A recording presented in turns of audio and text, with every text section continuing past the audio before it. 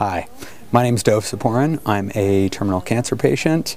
Um, what you're about to see is something that me and some friends put together for a cancertainment show. Um, it's some of the worst ways that you could hear bad news about cancer, five of them to be specific. Enjoy. Come on in, Mr. Siporin. We find that it's better for the patients in this setting rather than the normal patient room. The doctor will be right with you. This doesn't seem any better. Mr. Siporin, it's time for your exam. Well, Mr. Siporin, it looks like we have your test results back. And. Ooh. Uh, oh, you're going to need this. Mr. Siporin, we have your test results back. I thought this poster might explain them a little bit better.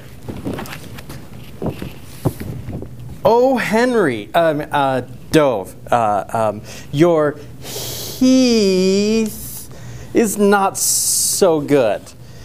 You have mounds of tumors. They're not runts, they're big hunks. Love, Dr. M&M. See, because I'm, I'm Dr. Mark Mason. Doc, Dr. Mason, I'm M&M. Good afternoon, Mr. Siporin. We have your test results right here. And let's just take a look. Wow, everything looks great. You are in perfect health. I think you'll live past four weeks. It's amazing.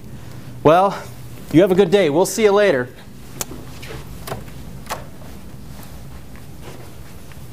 Oh, and it's opposite day, by the way. All right, so we brought you all here today to give you some news. I know this is a little unconventional, but uh, we find that it really works.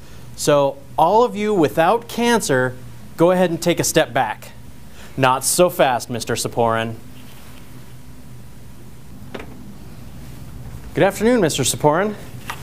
We have your test results back. Well, I got a question for you. What's the difference between you and a gallon of milk? You're going to expire sooner.